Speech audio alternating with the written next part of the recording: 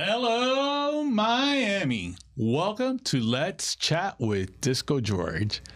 Today, I'm bringing back an old friend of the show. She hasn't been here in a while, but you know what?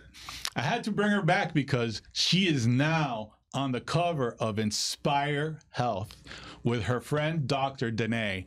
And today we don't have Dr. Danae, but we have Patty Vila from Patty Vila marketing and media. So she is a fantastic guest, and I can't wait for you to listen to everything that's been going on. Patty, welcome to the show again. Thank you. Thank you for having me. How's it going? It's going great. Tell me, how has this been being on the front page of Inspire Health? I'm so proud of you. I'm like, it, it's incredible. Thank you. Because you've seen my journey. Yes, my I journey have. from when I started at CNN as a secretary and, and moved my way up to now all these different things that I've been working on. Yeah, you know, it's it's funny that you say that because I remember meeting you, and you told me, "Oh, I'm gonna be going to Cuba," and I was like, "Oh my God, this girl has it. She's Yes. a star." And you know what? I saw that you were a star then, and look, the proof is in the pudding. You're on the front page of Inspire Health now. Yes, yes, it's been really exciting. Um, it's been very well received in the community. Dr. Danae and I have been contacted from you know friends that we haven't spoken to in a long in a long time, community members, um, people that have really enjoyed reading the story. You know, texting, calls, emails. So it, it's been it's been a lot of fun, and putting the story obviously together for a magazine that we absolutely love um, is great. Absolutely. And you're both fierce. Yes. so and you know I, I just love as a matter of fact i love the cover fierce and fearless Yes. now i'm going to ask you which one is fierce and which one's fearless which one are you Both. you're both Yes. ella también Ella también. ella también Ella también. well tell me how uh, you met dr danae so you could we could hear a little bit about the story and how this blossomed together yes. Well, Dr. Danae and I met when we were both working for Tenet Healthcare. okay And I was the PIO and the representative for um, the five hospitals in Miami Dade. And she was the director of the emergency room at Hialeah Hospital. And, you know, we became friends. We were working together on different projects, just like I was at, at the different hospital systems. And when COVID hit, that's when we became very close. Um, remember that when COVID hit, no one really knew at the beginning what was going on, what was happening. We were getting mixed messages. And when you're working inside a hospital system um, and where no one can get go inside the public can't go inside only the people that work there you form a bond so i really truly believe that everyone that worked in, in a hospital around the world have bonds with people that we worked with so that's how our uh, friendship blossomed Yeah. And, and you actually, uh, it becomes a work family. You have your family at home, yes but it's incredible, the, ma- ma- especially I'm sure the hours that you guys spent together during COVID with masks. It, it was, it was, it was a crazy, crazy, unsure time because nobody knew. Nobody knew. Nobody No- knew. Nobody knew. I mean, I remember even the vaccine coming out and a lot of um, different providers saying, get the vaccine, don't get the vaccine. Even those discussions in the hospital, um, sit, you know, six feet away, wear your mask. I mean, it was very, very stressful times, very stressful times. But uh, that's when we became very good friends. Um, Danae was one of, Dr. Danae was one of the, the first one actually in Miami-Dade County to put the tent outside of the emergency room. Oh, wow. So when patients would come, they would be assessed outside un until you know they would be brought into the emergency room. We just thought that that was the best protocol to have, Mm-hmm. and that's when all the other hospitals started following suit. So you guys have blossomed into a fantastic relationship. Yes.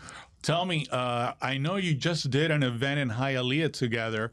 Can you tell us a little about some of the events that you do together with the community? Absolutely. Um, both Danae and I believe in, in community service.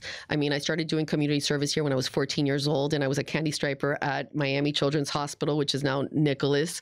And, um, you know, Danae has had community service as part of her history in her life. And we just did a partnership with Miami Dade College Hialeah, the city of Hialeah firefighters, and Larkin Hospital to bring health care to the community. Community. Oh, so we had t- 27 different vendors came to Miami Dade College Hialeah. I have to give a shout out to uh, Judy and to Dr. Georgette, who is the Right president. there, right over there. Let's, let's yes, do main yes, camera. let's do it. I love them both. Their passion for this community, their passion for helping everyone is amazing. And uh, so we we had our at there, and we had a really wonderful, great response. That's awesome. And are you going to be doing any other new events with her? As a matter of fact, yes, we're going to be partnering with them again in uh, 2025. Okay. But we actually Which is right around the corner. Right around the corner. But we actually have an event that we're going to be doing January 11th at Larkin Hospital, which is going to be called the New Year, the New You. Everyone is invited.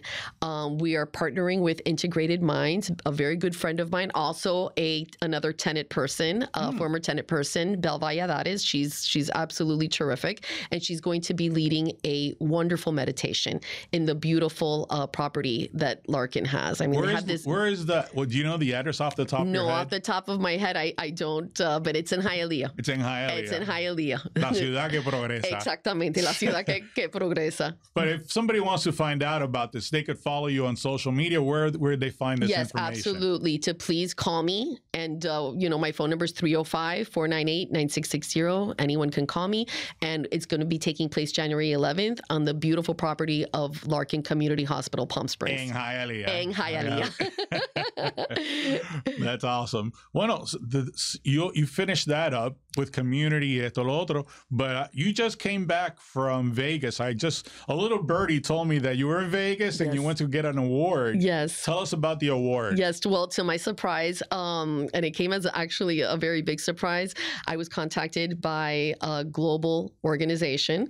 Um, they're a chamber. Global Chamber for Women, Mhm. and uh, they were honoring different women in different industries from across the country, as well as we had three di- women come from um, across the globe, and it was wonderful walking on the stage, being acknowledged for you know my work in journalism, my work in communications, and sitting. Actually, they did a day of conferences, so it was. Um, very inspiring to me and very comforting to hear from the women that spoke as well as the women that I networked with because I realized at that moment, um, being the only one from Miami and meeting women from a- across the country, that we're all rowing in the same direction. That everybody's working hard, that everybody's doing, you know, has a full time job, but is really pushing their passions through, um, and actually just engaged. They want to be engaged. They want to be meeting other people. They want to be going to these conferences and and doing these things and investing your in yourself is something that I believe in that I think everybody should be doing, especially now in this time that we're working and and living in. Let me ask you, since this is, and I just thought of this, you know, hanging out with women from around the world. Yes. Okay.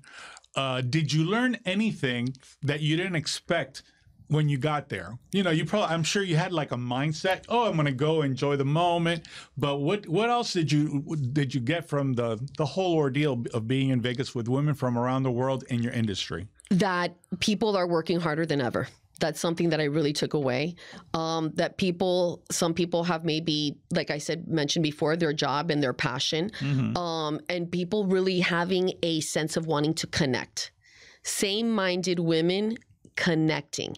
And um, the problems that we face here, women face here in Miami Dade County and South Florida, are the same challenges and problems that women face across the country and around around the world. I mean, that was very, very interesting for me to to experience that because you know how sometimes when you're working so hard, and this is something that Dr. Danae and I talk about on a weekly basis, right? Right. You're working so hard, you're wondering if it's only you that's going through this because you see everybody smiling and and laughing in pictures all the times, right? Right. When you go on social Especially nowadays, right? especially nowadays. But you wonder, how can they be doing this? Is this like this all the time?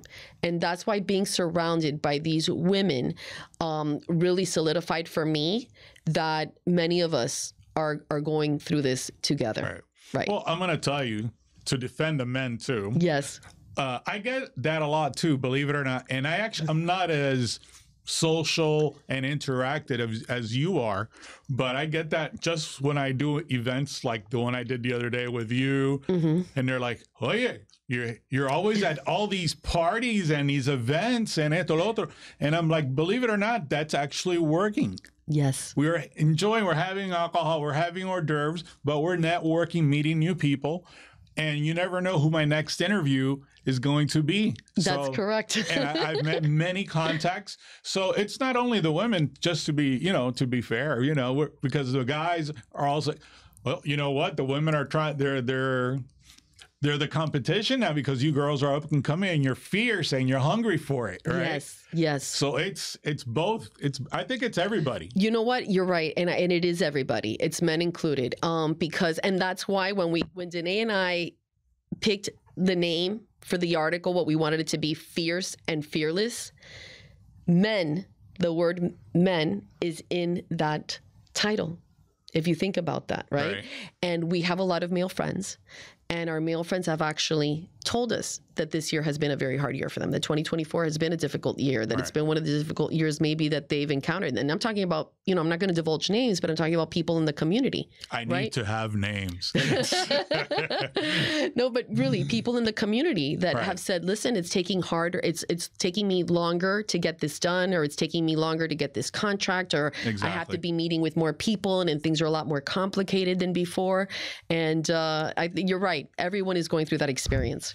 Yeah, and you like I we said before, you have to work hard. Before sometimes they would say work smart, not hard, but now you have to do both. You do. You have to do both. Yeah, you do have to do both. And speaking of working hard, I know you worked very hard. I know you put so much service in everything in community. And it's funny that we're here at Miami Community Service, but I know you went to the Dominican Republic Yes. uh, a little while back ago. Tell us about that service, that trip that you did, that to help. You know, and I told you, are you sure you want to go to Dominican Republic? This is this is no AC over there. Yes, I remember. I do remember you giving me advice and telling me all of that.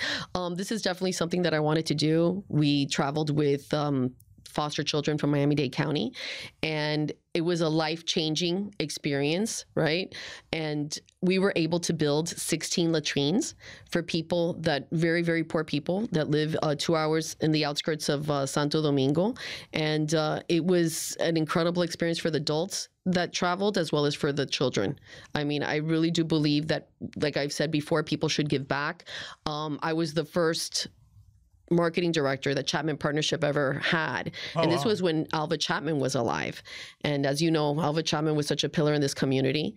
And, you know, working at Miami Children's, volunteering there as a candy striper, and just other things that I've been involved with, helping people, and especially in mental health, which is a, a big um, problem that we're facing right now in, in around the world, and, and especially in, in this country. Um, my passion has always been to give back because my parents taught me that, you know. And this year, one of the other things that I really enjoyed was I you know that healthcare is very important to me and everybody having access to he- healthcare is um is something that i that i treasure and that i think is important and i just in back in March and or April and beginning of April, I got on a plane with my best friend, and I said, "Come on, we're going to go walk the halls of Congress, and we're going to talk to different um, Congress people in Oh, different wow. states." And uh, so we did that. And, yeah, I, just I think we have a reference on that. And yes, who, whose office were you in? Uh, well, that office is in um, Congresswoman Maria Elvira Salazar, who just actually got reelected. But her staff was uh, very gracious. Actually, everybody that we met with was was very gracious. All their staff, and they, and they listened and they um, took Did you notes. get to meet any of the you know the people or The- no, basically staff members, Just staff, staff members. just because they're the ones that really, you know, take the notes and, and do the work and, and talk to the Congress people. So we got to meet with uh, the staff members. One of the things that was also talking about is I work with Pedro, Dr. Pedro Martinez Clark, Dr. PMC, as everybody knows him in the community. This year, he started a foundation called Miami Institute to Stop Amputations, Oh, and uh, diabetes is actually going to um, be explode. It's it's very high levels right across the country, but it's even going to go higher. It all has to do because of our nutrition and what we eat, being overweight, um, sometimes uh, Being obviously stagnant. yes, being stagnant, hereditary, and this is something that's very important to him in conjunction with the American Heart Association. Um, so we were talking a lot about diabetes in, in this visit, diabetes and uh, and the American Heart Association and Amavita Heart and Vascular. Wow. Well, yeah. I, I actually uh, met him, and he was so nice and so pleasant. He is. He I- is. we're gonna have to get him on the show. we are going to year. have to get him on the show because he really needs to come talk about all the clinical trials that he's doing and um, all the different projects that he partners with because he is always at the forefront before everybody else doing the work for the community. I mean, this year alone with his practice, we've done uh, 13 free screenings. Our Oh, last one was in Liberty City. We um, saw 17 patients, and all 17 patients were either borderline for peripheral artery disease or tested positive for peripheral artery disease. Wow. So this is something. This is his passion, and and I love being on the journey with him, That's- educating the all about community. the journey, It's all about the journey. It's all about the journey. It's all about the journey. You also had a journey by Jackson Yes. that you guys did school supplies a couple months ago. Tell us about yeah, that. How we- was that journey? It was awesome. You know, we have since because our close knit fa- Tenet family, um, you know, people grow, people want change, and uh, I had a very good group of fam, uh, very good friends, uh, Vicky and Jessica, that are nurse leaders actually at Jackson North, and they did a lunch box drive and uh, supplies for kids, and that was uh, really fun, and I really thank them for that because the that's- whole that- those are- hospital. Those are, some good quality Yes, ones too, yes. right? The whole community there came together and uh, they did that for for the foster kids, and that was really really nice of them to do. Yeah, that's and I one of those things them. I always enjoy seeing on the news when you see they're giving out the backpacks and with the supplies. It, it really does help. It does. It, It does. really does And help. Larkin does that as well. I mean, they do Larkin Hospital. Dr. Janae leads tho- those efforts as well. And uh, she's, you know, she, they're always doing things for the community, for the kids, for the seniors, um, and just for people in general. Well, pretty soon we're gonna need more senior stuff. Yes, that's true. That's very true. I already got my double ARP card. Yes. I'm going to be applying for mine. Well, I'm soon. telling you, I, yes. I, I get a discount through AT and T too. Also, bueno, uh, let's talk about Patty Vila, Patty Vila Media yes. because that's that's who you are. Yes, that is who I am. You know, you do you work with the hospitals, you do all this community work, but bottom line, that's your company. That's Yes. That's your baby. That is. That is. So so tell us what's next with Patty Me- Patty Vila Media. just you know helping any uh, brand that needs some help i mean this year it's been really a lot of fun you know continuing my work with dr pedro martinez clark um, with larkin hospital this summer uh, i worked with key biscayne and uh, we worked on a really nice project together and that was very very fulfilling um, a lot of writing and just strategy behind things that were done for them and uh, then recently i just did a ribbon cutting for dr john gottlieb who is a spine surgeon out of mercy hospital. Oh wow. and uh, he just moved his office actually from mercy to coral gables. And his wife who is belle is uh, integrated minds is located with him and they're doing phenomenal work and that's actually once again that's the person that's going to be leading our yoga retreat Oh, on wow. January 11th. It all it all comes together. It right? all comes together. Well, because I believe that all of us are connected. All of us are connected one way or another. Um, and something sometimes things flow and sometimes they don't. Uh, but the universe always has a way of helping you find where where to get to.